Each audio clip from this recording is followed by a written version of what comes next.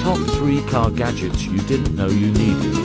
The steering wheel desk so you can munch on the go. The TikTok viral wireless car charger with motion detector.